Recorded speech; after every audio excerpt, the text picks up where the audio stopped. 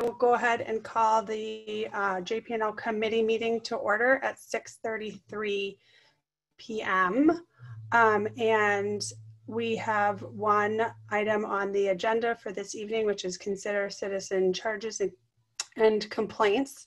Um, Before we get started, I would like to have um, our attorney, Nathan, go through and kind of kick off the conversation and sort of set the parameters for um, in in relation to the affidavits.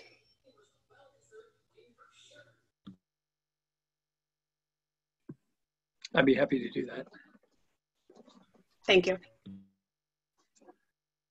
Um, did you want me to do that now, or there is there any preliminary matters that you needed to do as a committee?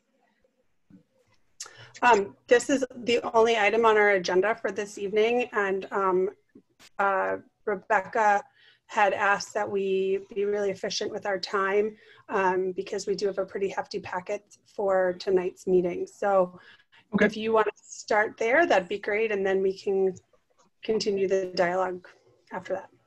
Great. Um, Thank you. The the board, I, I had previously distributed a uh, memo to the board, so this um, um, will probably be more for the edification of the citizens that are participating in, in viewing tonight. Um, I think I'll start with an explanation of how we got here. Um, the village has a code section, which is 15323, which states that any charges against an officer of the village that are in writing and verified by affidavit, which is what we have here, um, must be referred to committee for investigation without debate.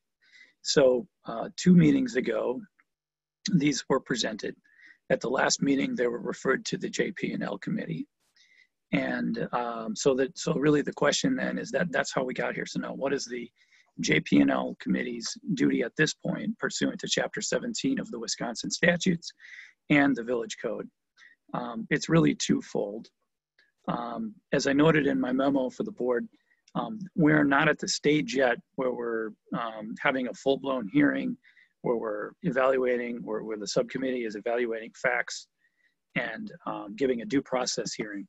Um, this is essentially a preliminary step, much like when a criminal defendant appears before a judge and, and for an initial appearance to determine whether there's probable cause um, to hold somebody over that, that, that something has occurred. If the answer to that is no, the process is finished and it is complete. And if the answer is yes, there's another process that takes place. So the, the, the job of, of this subcommittee is essentially to evaluate whether the allegations, if accepted as true, would they warrant removal for cause of the elected official? And that is pursuant to Chapter 17 of the Wisconsin statutes. Cause under Chapter 17 is defined, and I quote from the statute, as inefficiency, neglect of duty, official misconduct, or malfeasance in office. Now, um, none of those additional terms are specifically defined in Chapter 17. Um, so one of the things we did, we looked at some case law to see if, hey, is there any way we can help the subcommittee do their work? Is there any way that we might be able to help them understand what malfeasance in office is or inefficiency or neglect of duty? Well, there are some cases that um, do discuss those terms, but the problem is um, these terms also come up in cases where um, the recall process is used under Chapter 17. And in those cases, the court has taken a liberal view of the language and said, well, since um, you've gotten all these signatures together and you've got the statutory number of signatures, who are we to judge? Um, who are we to second guess the electorate that the electorate? So we're going to have a liberal interpretation of those terms when it comes to the, um, the the statutes relating to recall. That's not really what we're doing here, though. I don't think, and I do not believe that the court would take such a liberal interpretation of those terms when we're talking about removal from office for cause under this process. So, unfortunately, um, the case law that uh, defines these terms wasn't terribly helpful. So, unfortunately, I can't give you tonight as a body, I can't give you a whole lot better definition than provided by the statute, which is again, cause is inefficiency, neglect of duty, official misconduct, or malfeasance in office. So um, what that that is essentially saying, do we what do we have here? If these if these items are accepted as true, does it rise to that level? And the example that I gave in my memorandum is um, just to use a, a of course a, a, um, sort of an, outrageous example to prove the point is if somebody came in and said, well, you know, so and so cut me off and um, didn't use their blinker when we was driving on Oakland Avenue. Well, that would technically have to be referred to subcommittee if it was submitted via affidavit verified. And the subcommittee would look at it and go, well, that doesn't meet the definition. They would report back to the board and say that's there's there's really nothing going on here. It doesn't rise to that level, and we're done with that process. So um, so that's that's why this first step exists. That's why the existing ordinance requires to be referred to committee. So um, the so the general framework then is to again look look at it in that vacuum. Um, again, there's no fact finding going on at this stage. It's really just a pure question of does it meet the level of inefficiency, neglect of duty, official misconduct, or malfeasance in office, the allegations that are contained in those affidavits. Then um, at the end of that process, you'll report back to the full board and say, you know, we either discussed it and and we think um, that it bears further investigation in, in, in the form of a, um, a hearing uh, where due process would be afforded. And there's a process under Chapter 17 whereby the um, chief judge of Milwaukee County would have to assign a judge um, to overhear that process. It would be someone totally unassociated with the village. Um, it would be a neutral party, and then there'd be a framework for that. Or uh, alternatively, the board or the subcommittee might say, well, um, you know, there's some uh, serious issues in, alleged here, but they don't rise to that level. We don't feel like it rises to that level, and they can report that back if those are their findings.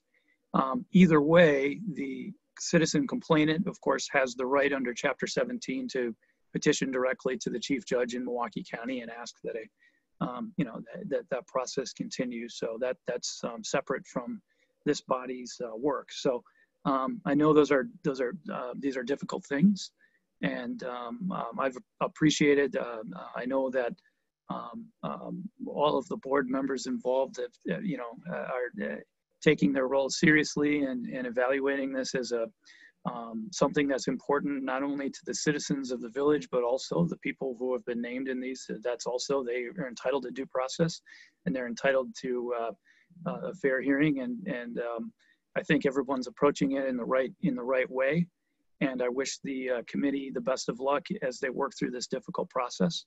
And I'm uh, for, um, uh, willing to answer any questions that, that um, people might have. Otherwise, I will turn it back over to the chair, uh, Trustee Carpenter, and, uh, and uh, for your discretion and um, how, how the, the subcommittee wishes to proceed. Um, can I ask you one question in regards to the affidavits? So uh, or two questions. Um, so trustee Amenta will recuse herself for the discussion um, regarding trustee Amenta.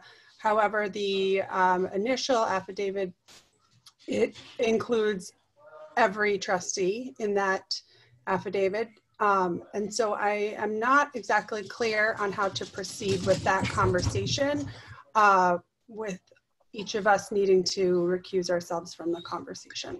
That's an excellent point. Um, and we, this is something that I discussed this afternoon with Rebecca as well. Um, on that particular one, because it does implicate the entire board, um, what I would recommend is that the committee report back that um, we have reviewed it and it is up to the discretion of the citizen complainant as to whether to ask the chief judge in Milwaukee County to uh, to move forward on that or not and as a subcommittee, because each of us are, are, are individually uh, part of that process, um, we have no, you know, we have no report out of committee concerning that. Um, you really, you know, because you can't take action against yourself. Um, so it's really, it essentially becomes, um, I, I would put that one last, and, and and when you report back to the to the village board, you just I think you have to tell them the full board that we reviewed it, but because each of our, each of our names are included in this is along with the entire board, um, it would be inappropriate for us to take any formal action one way or another, and we'll follow up with the citizen complainant. And I think the appropriate thing there to do would be to lay out for the citizen complainant the process under Chapter 17 of the Wisconsin statutes and how she can avail herself if she deems fit um, uh, of the, uh, the the remedies found in Chapter 17. So I would focus on the the other affidavits. Would be my recommendation. Thank you, Nathan. President Rozek? Can you hear me? Yep. Okay, thank you. Um, I just have two quick questions. One is, if it did go to circuit court, who represents the trustees um, that are uh, named within the affidavit? Is it is it the village attorney?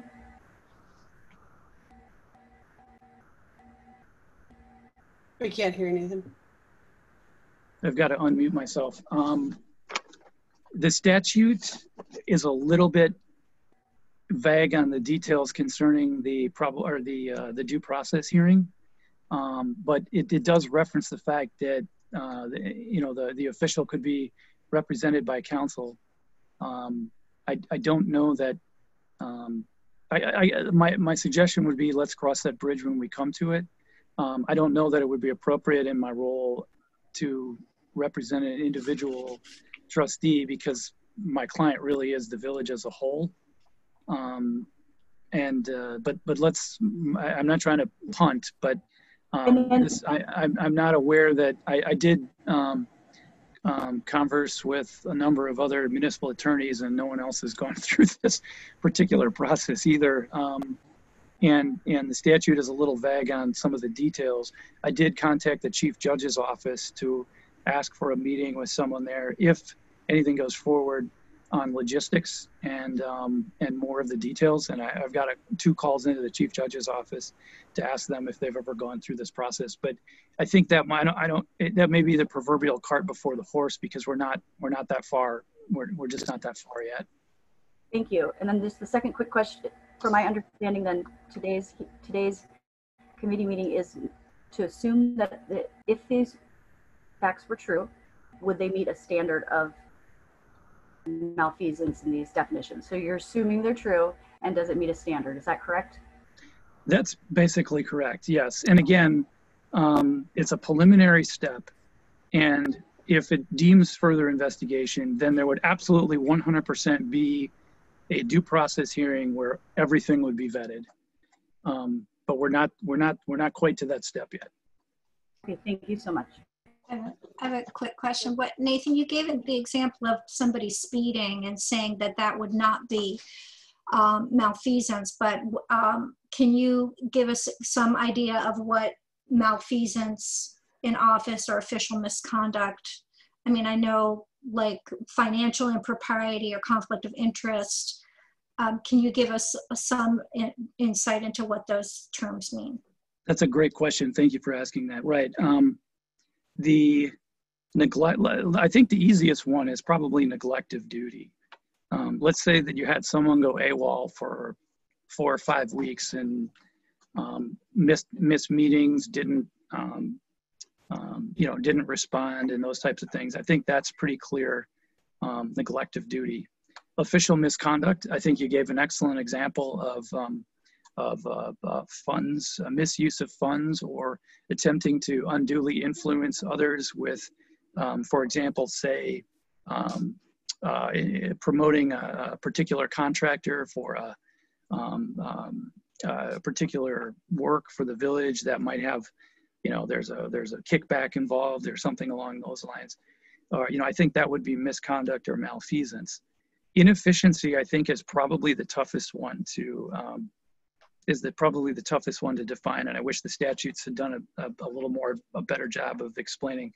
Um, but I think inefficiency probably is is is tied closely with neglect of duty and things such as you know um, missing meetings or or not um, you know um, preparing uh, properly for um, presentations for meetings or if there was duties that was, were assigned to subcommittees. And you know that just again um, not being able to meet the the basic conditions that are required um, for the for the for the office itself i think would would be good examples so thank thank you very much for asking that question. It was an excellent question.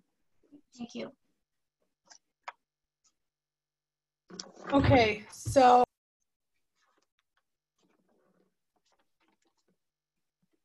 um, so I'd like to move forward um, with the um, with the first.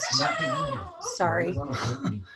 Um, with the so we will move past the what is in the packet as the first affidavit per our attorney's um, guidance and use that for the um, for the save that towards the end. And so we would move on to the second um, affidavit um, regarding um, President Rozek and um, the, it is page 146 in the packet. So um, Trustee or Trustee Amenta, do you have any comments on that affidavit? I mean, I'm trying to read it to get, you know, what the actual offense is. I mean, there's a lot of explanation of situations, but um, it seems, I guess, at, at the top of page 148, President Rozek misused her power and acted out of racial bias to remove this woman from an appointed position without her knowledge and to limit her free speech and that she continued to attempt to control and discourage this black woman after the rest of us had moved on and thought the matter was resolved. I um, so okay, you know, I find this a difficult process to just assume that everything in here is true because I personally know that there are inaccuracies in this one. Um, but if that were true, I guess the question is uh, that she attempted to remove someone from the HRC. Though, does she admit that this woman wasn't removed from the HRC? She didn't remove the person. So she attempted to remove a person and then tried to limit her free speech without her knowledge. I don't, I, I'm having a hard time making heads or tails out of what the actual accusation is here. Maybe one of you can help me. That sounds like uh, just an abuse of power um, by removing somebody that wasn't um, wasn't wanted on the board. I guess that's kind of how I'm reading it. Uh, whether it be racial or non-racial, uh, it looks like um, President Rozek used her power to remove a board member uh, on this committee or, or from the committee. So I think that that's kind of the you know the gist, and and I you know it's hard to say if it was racially related, racially motivated or if it was um, personally motivated. Um, so I, this is a complicated situation. I, you know, I, you know, I would say at that level, um, you know, does I think the question is let's let's you know, I mean, I know this is we're talking about race in general here, but let's you know the question let's take the question is it an abuse of power for president rozek to remove somebody from a board or commission well, she, she, the person wasn't removed though. The person wasn't removed, no. Okay, so we know for a fact that um, this person stepped down. Is that the, that was the case? She stepped down. Yes. Okay, That's why she says that she acted out of racial bias to attempt. So she's saying that she attempted to remove this person from the HRC. She attempted, but she didn't got it. Okay. do it. Yep, yep. So, I, I, I don't I don't find personally that this rises to official misconduct, malfeasance, neglect of duty, or inefficiency. and Nathan, can you maybe clarify? So our our role tonight is does it meet that standard? And then our role is to report back either way to the village board. So for example, in this particular um, affidavit, saying that this is not meeting that standard, we would report back to the village board that for this particular item, I'm using as an example, does not meet the standard, and then the village board would decide from there, correct? Well, okay, sure. Um, because the ordinance requires it to get reported to the subcommittee, the subcommittee at this point is looking at it and, and that, and and having that discussion as you just laid it out. However, um, making that decision um, is not an endorsement. Um, you know, making that decision is not an endorsement of the conduct one way or the other in any way, shape, or form. It's just saying we as a subcommittee looked at it and we either think that it um, meets the statutory definition of cause under 17.001 or we don't. That, that's all you're saying.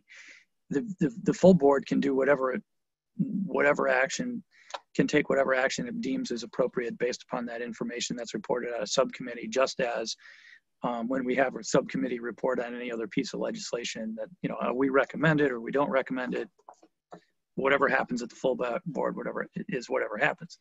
But, um, you know, the board could say, well, we accept, you know, we, we understand that you had a discussion about it and um, we, we trust your judgment and we as a board don't want to take any more action on it and let's move on with other things. Or it could say, you know, we understood you, you discussed it. And if you think there's cause on this matter, we're gonna we're gonna move to direct the village attorney to contact the um, um, the chief judge's office for Milwaukee County and um, find out more about a, uh, a, a full hearing, a due process hearing. So that I think is really how it would play out after it's reported back to the to the to the full board. Does that answer your question? Yes. No, it does. Okay. Okay. And it's kind of too bad that we don't have other statements from other parties involved here. We have to just go off of this document, um, you know, which makes the situation even more complicated. You know, it'd be nice to have, you know, uh, the other, the, the member that stepped down, it'd be nice to have her, her comments, uh, you know, as well as some of the other people in this, uh, in this document, but we, we don't have those in front of us. So on surface, you know, we have to take this, this article here as, as kind of the document that you know the only document for this for this you know this topic so you know i you, you, are there any other you know the other thing i'd like to know is are there any other instances like this in the village where the you know the president may have affected uh, people on committees one way or the other stepping down from committees or removing people from committees has are there any other examples like that that's something i'd like to know before i kind of move forward with with this um, with this particular issue, which we don't have in front of us. So, and I don't, I, I don't know if th that is relevant to this particular um, affidavit, and I don't know if that's because because it's it would be a different situation. I don't know if it's in, able to be included in the conversation. Maybe I'm wrong, Nathan. I don't know. Yeah, I mean, uh, you know, you're really you have what you have in front of you, and um, you know, and the and the question really is, we've got a citizen uh, a sworn affidavit, a citizen complaint in front of us, and uh, are the are the facts alleged in there? Do they rise to the you know do they rise to the level of defined by the statutes? So, um, you know, if if if unfortunately if if if you ran down into a um, uh, factual investigation, then you're really turning it into more of the the next stage of the process, which is the um, um, the full due process hearing. So this is just kind of that preliminary stage. Um, so really, you know, there's unfortunately really no other outside evidence to go on at this point. Yeah, I think with that said, I'd probably not uh, move forward with this particular affidavit investigating this particular affidavit. Um, so are you saying that you don't think that it meets the standard that Nathan described earlier? I don't think it meets the standard, no. Trustee Amenta? Yeah, I don't either. Okay, my, myself as well. So we would say to, when, when this moves to full board, that the three of us do not believe um, that this is, um, meets the, the qualifications that Nathan um, the standards that he put forth in the memo.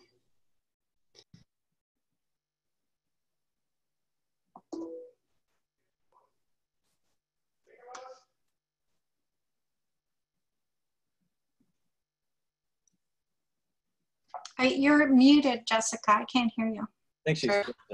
Okay, so then the um, the affidavit. What? What's that? Did, Okay, did- so do we need to make a motion? yes, we do need to make a motion.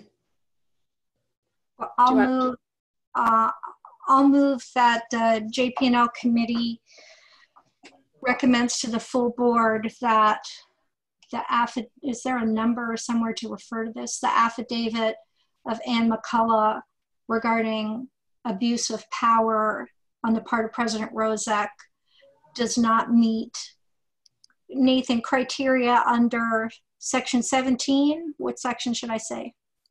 Wisconsin State Statute 17, I, I believe. Wisconsin State Statute 17?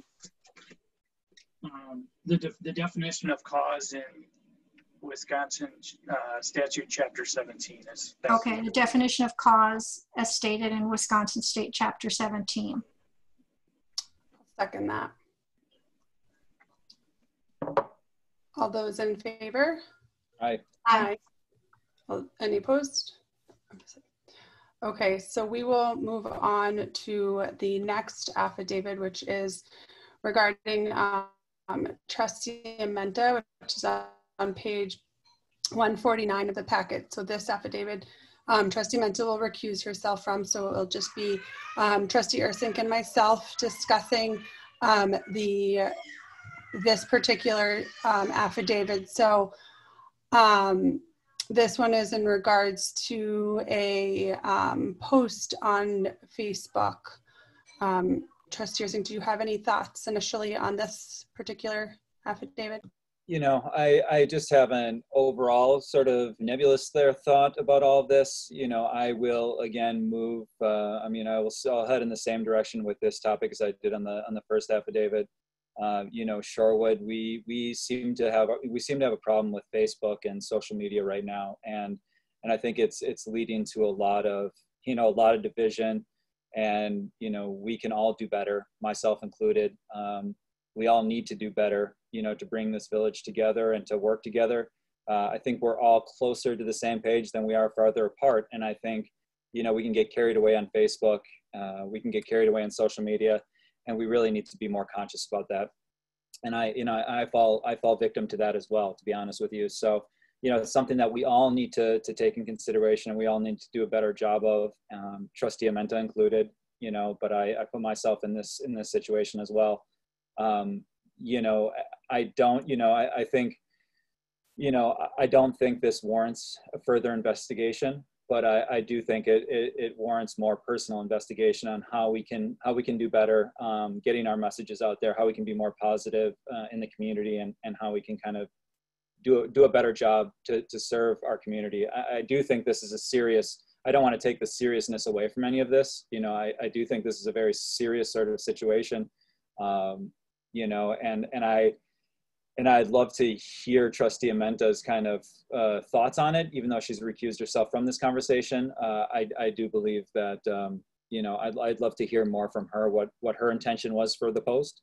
And, um, you know, uh, but outside of that, I, I do not think it, it warrants further investigation. I just think we have to, we have to all try to do better. Um, so I would actually agree. Um, I do not believe that it meets the statute um, in chapter 17. Um, I personally feel pretty strongly about social media, um, as well as even Zoom, um, that it has um, made people keyboard warriors and saying things and typing things that you would maybe never say. Um, this is something that a resident said um, and during another Zoom meeting, the same resident was um, flipping off the cameras. Um, and I have to say, personally, this has been a really hard year for me. Um, I really have enjoyed this role, um, but I'm doing the best I can. and um, I hope that residents can see that everyone on this board is doing the best that they can. And whether we're perfect or not, we're all residents. Um, and I hope that we will be able to continue to move forward. Um, so I, um, I'm happy to make a motion that I do believe that the uh, the affidavit regarding trustee Amenta does not meet the Wisconsin State Statute Chapter 17 guidelines. I, um, and can we just vote since there's only two of us, Sarah? Or do you need a second? Um, if Arthur could just second it, that would be Second. cleaner for the minutes. Thank you. All in favor? I, Aye. I, you know, just can I follow up a comment on after that vote or do we have to move on? You can go ahead. Yeah, I just, you know, I think, you know, everybody from elected officials, we're all doing the best we can from residents to officials. And, um, you know, we're all volunteers here and everybody cares so much about this community. Everybody's very passionate uh, about this community. And that's the beauty of Shorewood. That's why I love representing Shorewood and the people here is because the engagement and, and I value that so much. You don't see that everywhere you go. And, and I, you know, I strongly, um, believe that that's our strongest asset here in Shorewood is is the energy and the passion of our of our residents. Uh, that that particular meeting, uh, the special the special meeting that we called, that was you know people were letting out their frustrations. Residents were frustrated, frustrated us, frustrated you know at you know in the community, frustrated you know at the nation. There's a lot of emotions in that meeting, and you know whether people are flipping off the cameras, yelling, screaming, writing things, I feel like there's a lot of energy that needed to be to get out that night. And I and I think I don't hold anything against anybody that night for what they did because that needed to happen. It's like one of those therapy. It's like a therapy session we almost had there, and people were upset and they were able to just get out get out there you know get that out and and i thought i think that was needed for our village to move forward you know sometimes it's it's not easy and i and i feel I feel that was a really positive step. Uh, you know, even though a lot of people you know disagree with that, I, I, think there's a lot of positive that could be taken from that evening, and and um, you know, uh, so so I, I, think emotions were running high, and and you know, it's, it's, it's just time to move on. But we're you know that's why we're here. We're here to hear from people. We're here to listen to people, and we're here to to govern based on you know the needs of our residents. Definitely. Okay. So we have um, two more um, to get through. The next one um, is in um, regards to President Rozek as well. Um, this was in regarding or regarding the um, uh, curfew that was issued on May 30th. So um, I'd like, oh, Trustee Amenta, you're back. Okay. so this one is saying that she failed to perform duties um, and that her that President Rozek's decisions led to disproportionate risk. Um, so I can open it up to Trustee Ircink or Trustee Amenta. Um, your thoughts on this particular affidavit? You know, I think this is the probably the most troubling one for me. Um, I take I take a lot of issue with this. I was shocked kind of when this happened. And i spent a lot of time you know you know talking to you know people about this issue. And um, this is a very troubling situation this is the most troubling one out of all of these. And i think this one i you know i'd be a little bit more in favor of of digging a little deeper into this into this particular topic. Uh, it did pose a risk um, to our community.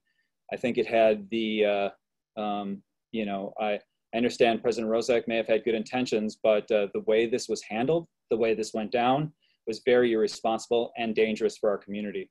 Uh, it went over the heads of our village managers' recommendations as well as the chief of police, and um, and I feel like you know this you know this is a very serious serious allegation, and um, and I, I would I would be in favor of digging deeper into this one. So you're you believe that this meets the um, Wisconsin Chapter 17's um, parameters? I mean, I, I, personally feel like this is a very serious allegation. Whether or not we have to we we have to go in front of a judge to figure that out. This is a very this is just really troubling to me, and I and I don't know if I have the support of of we probably won't have the support of both of you on this one as well. But I, I I'm troubled by this by this particular incident, and um, and I'm not sure, you know, you know, I I'd be open. I'd be open to it. So I'd love to hear from both of you and and know hear where you're coming from on this. I mean, I, you know, there's a couple elements to it. I mean, uh, one is um, do- does the president um, have uh, the power, the authority to issue a curfew? Um,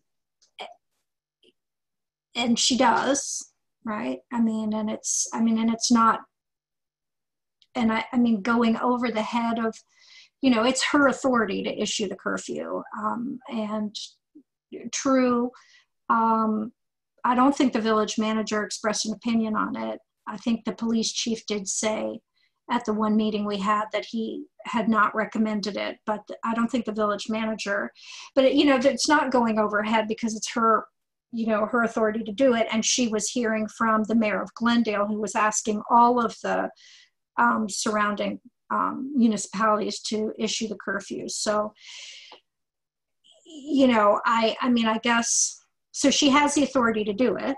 Okay. So the question is, was it like malfeasance or uh, misconduct in that particular situation that night to issue the curfew? Um, I mean, other places did. I think Tosa had a curfew, didn't they? Um, so, and Glendale Maybe certainly. the timing, maybe the timing a little bit was, uh, you know, the timing could have, the timing was, was. The timing, the timing, I agree, the timing was not ideal. Um, but I mean, again, you know, I, I mean, the timing was not ideal. You know, I, I think it was, I think it was a situation. I mean, I know for a fact that the president has never been in this situation before. I've never been, I don't think any of us had ever been in a situ- situation like this before. And, you know, sometimes um, it's hard to expect perfection from people in situations where um, there's a lot going on and a lot happening and um, people are scared you know and people are i mean there are people who were scared about um, uh, the protest coming into shorewood. There were people who were scared about their kids being out and a curfew being called and them not you know that their kids were going to get detained. I mean there were people scared on all sides of this thing. Um, and i guess i would say you know um, it, it wasn't the greatest but i'm not sure given all that was happening those couple of nights that uh, that i would feel comfortable saying this is you know the president not performing her duties in office or malfeasance i, I don't feel that it raises to that level Yeah, and I, you know, I think, uh, you know, it brings up a better, bigger conversation about communication and and who who was she in communication with, and who, you know, who did she talk to that night? Um, she, you know, didn't talk to the public safety chair, which I think would have been a really important conversation to have, or would would have been somebody to call and and talk to about this. Um, you know, I think the timing of those decisions uh, are really troubling. You know, you're right. Does it, you know, how you know was it was was it a mistake? Maybe you know maybe to some maybe not to others.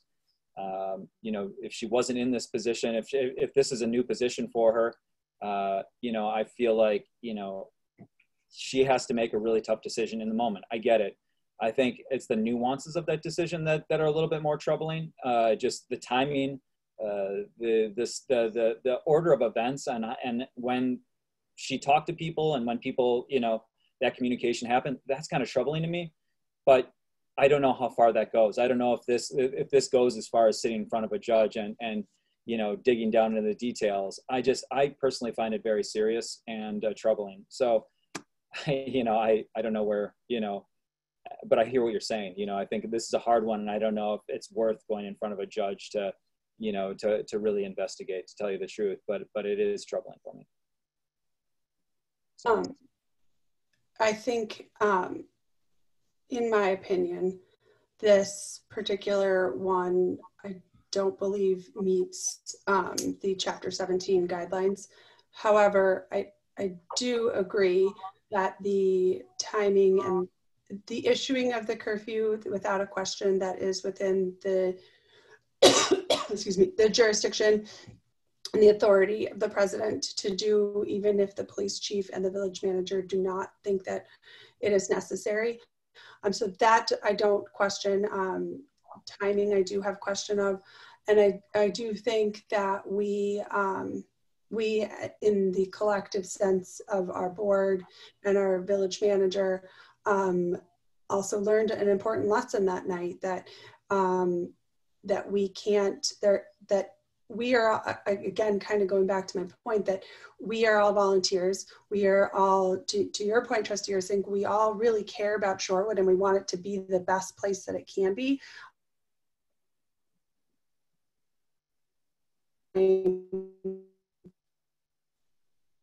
Situation that we need to move on the next um, the next person on the on the chain which i know we're talking about more later tonight. Um, so you know i think that this has um, brought to light that we need a, a better process of what comes next uh, or who comes next in that process if we don't hear back from the president and then if we don't hear back from public safety and then and then. Um, so i think that that also is something that we um, collectively need to take away from this particular situation. Um, so I, mean, I, I, agree about the timing because I know when we were going through that period and you know we would get texts from Rebecca to say check your email. And we got a couple of those and like by the time I don't always have my phone right next to me and by the time I got the text there were several times I got the text and went to look at it and it was too late you know? So I mean I I I don't know if there's a misconception among the public that this is a full-time job and that we're like you know i mean it is a lot of time. We have a packet over 500 page packet tonight. It's a tremendous amount of time that we're doing. Um, but i know i i am not like constantly you know if i'm at my computer i may have the trustee email open or i check it a couple times a day but it's not i'm not on it like you know 20 times a day. I'm not it's not like a full-time job like you're always paying attention to what's going on at the village you know? Yeah. I think you know a part of it is uh, the president should be aware of uh, of current events and things that are going on. Uh, you know i would appreciate our president you know being more in touch with what's happening in shorewood and, and what's going on you know in that within that day. So i mean i was busy but i i saw a message on my phone i saw a message on my computer and i and i was looking at the news. So i was you know i was really you know um, kind of I, I felt pretty involved in what was going on in the situation um, you know and and and i and i'm just saying that I, I i'd hope that the president would be a little bit more focused on on what was happening current events wise and within shorewood so, and and if she knew things were happening, you know, she should have her phone next to her. You know, if there's something going on, you know, uh, you know, if, if there's something that's going on that that could be a very serious situation, I think our phones should be on us at all times. If she has those powers to make those decisions, she should be expecting to make those decisions in a timely fashion. I guess that's kind of what I'm saying. I mean, I think there's some validity to what you're saying, actually. Um, you know, and I, I think if we're ever in that situation again, which I hope we won't ever be, that um, that we'll all, we'll all be able to handle it better. But um, you know, again, people are human and people learn, and they learn by making mistakes. And um, I, yeah, I don't. Um, I mean, Ms. McCaig is, or McCullough is always free. You know, she doesn't matter, even if we, even if the full, if we say that we don't feel it merits further attention or time by this board, she's free to take this on her own to district court. So, you know, she always has that option. Right. But um, I guess I would move um, to uh, to that the committee recommends what to I forget what not to what what was it? That it doesn't meet the guidelines in the Wisconsin's well, yeah the, statute, Wisconsin state statute 17. 17. Yeah. I would second that. Um, just one second. Are you guys taking public comment? Um, so what I'd like for us to do is to get through, since we only have um, 12 more minutes and we do need to really start um, what uh, Rebecca had asked that I be very conscious of the time just based on the size of the packet this evening.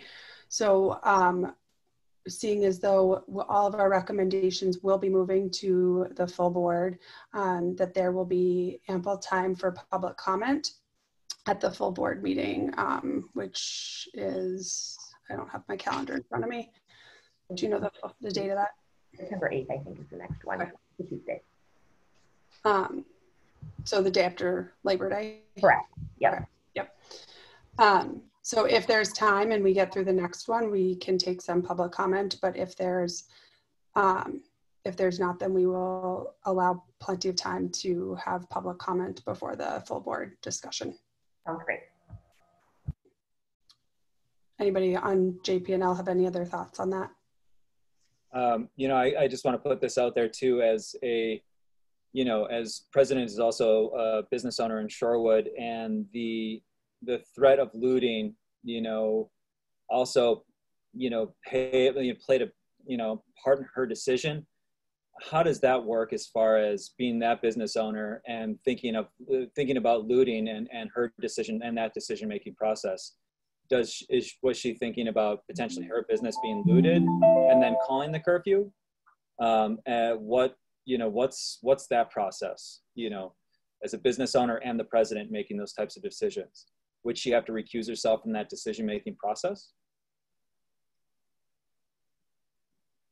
Because she could just be serving her own business at that point, you know, making sure her own business doesn't get looted. Uh, you know, Nathan, I, um, I don't, I don't know the answer to that. Um, I don't know if you have any, or if that Um, is, I, I, that would probably not preclude someone from making a, uh, a decision on a, on a curfew. Um, uh, based upon the conflicts as defined by ordinance in the statute, um, I don't, I don't think that that would require a recusal. Just, just by virtue of being a, a business owner in the village. Thank you. thank you. I mean, you Um, could, you could say as a homeowner, you would have the same possibility of, True, but I, I think they're looting businesses. I mean, I think the, the thought was that, that they were going to loot businesses, but I understand. I'm just trying to get clarification on that. so I, um, okay, so I, I made a motion, I worded it very poorly, and trustee Carpenter helped me with the wording. Um, so we should, should we vote on a? I mean, I'm not opposed, if we have a couple minutes before the, uh, full board meeting, I'm not opposed to having public comment now. Yeah, we do have the, um, unless, Yeah. well, well, let's vote on this and then we have one, the fir, the other affidavit that we, Nathan suggested we take at the end. Oh, yeah, yeah, that's right, we, yeah, but he said we can't do anything on that. Correct, but I just want to make we- sure we all feel good about that, that, that dialogue before we Okay, open to public comment. So, um, all those, Sarah, can you repeat the motion? Basically, uh, you're recommending that it does not meet standards of Chapter 17 of Wisconsin state statutes. Correct. Okay. All those in favor, say aye. Aye. Aye. Aye. All those opposed? So- Um, okay, so then we do need to go back to that first um, affidavit. Uh, it's listed first in the packet. Order. Point of order, sorry. Yeah. I had a question for the attorney before the vote. Um, Because the person I consulted with is the chair of this committee for the curfew, did she need to recuse herself?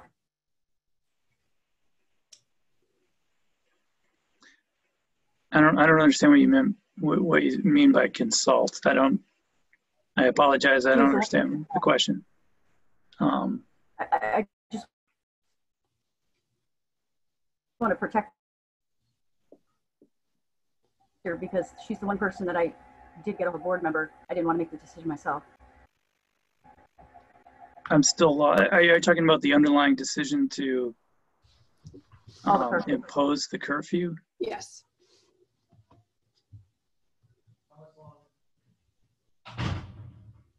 No, I don't, I don't, I don't think that would preclude her from participating in the discussion. Just because you had a conversation about the steps to proceed. Okay. Okay. No, I, I, I don't, I don't, based upon what I understand you to be saying, I don't, I don't think it's an issue. Um, well, go ahead. oh, no, I, I was going to move on. So if you have something else to add. Oh, I was just going to mention on the very last affidavit, um, and this is the one that begins, um, the village board has remained largely silent on the issue of racism. Um, so i- if you look further down, um, it says that in this regard, I am not naming any elected, uh, I think it, I think it means official there. I think it's missing the word official. I'm not naming any elected official to be considered for censure or removal related to this statement.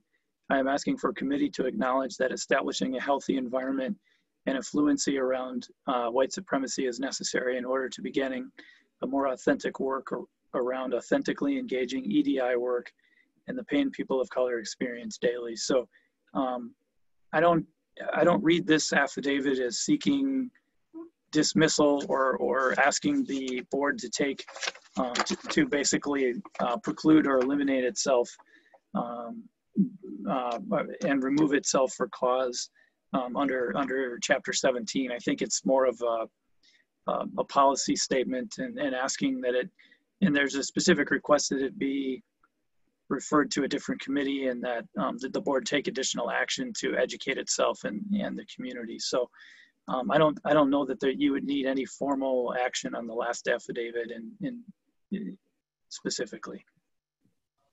Okay. Um, and I know that the action that was requested in that affidavit has already been, action has already been taken. Um, so, so in, in essence, there's nothing at this moment that we need to do regarding the last affidavit, is what you're saying.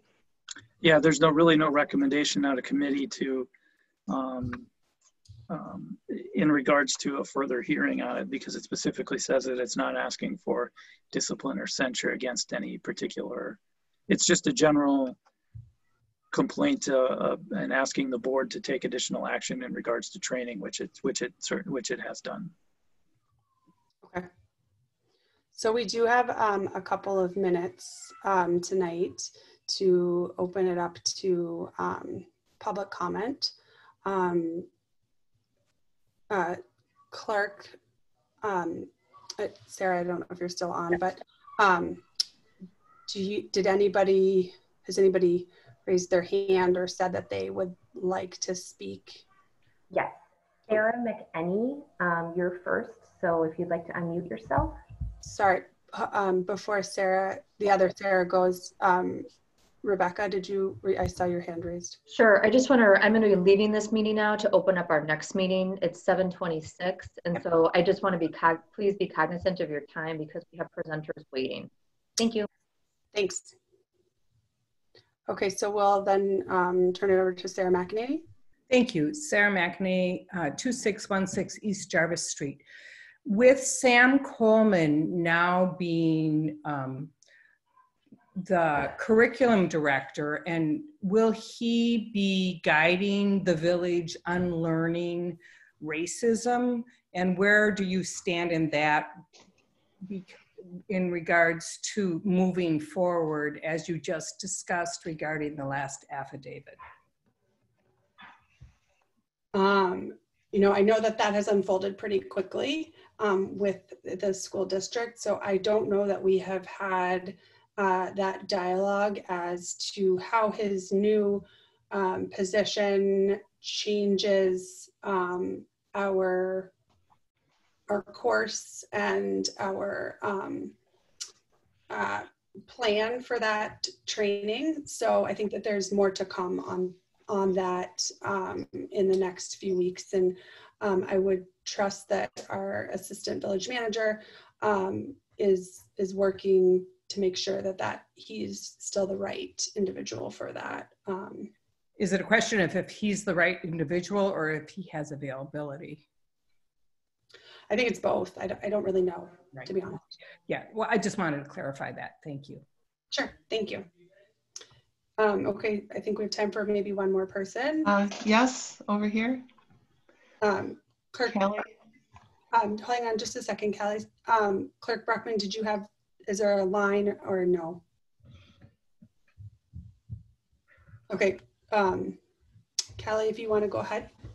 Sure. Um, I have a suggestion that when there are things like accusations about anything, I think that looking at certain facts and, and the history of how certain trustees have voted, how they, um, and this kind of aligns with sensitivity training about race relations. For instance, um, you know, who um, reestablished HRC? I mean, that is not a meaningless um, effort. Um, David, it was you, for instance, or who um, opposed bringing debt collectors, you know, to um, uh, in our municipal court um, because it would disproportionately punish um, people who um, don't have the wealth. So my recommendation is kind of go back and see what efforts have, in this case, Alice, you know, President Rozek and Trustee Amenta, what efforts have they supported? And that's a lot more, there's more meat to that than what was the motivation for the curfew. I mean, uh, we could never know that, although personally, I think it was fear of, you know, of our safety, but that's just my feeling. So instead of all this touchy feely political, you know, uh, dislike of certain people, certain officials, um, really going and seeing what exactly have have trustees all this time supported.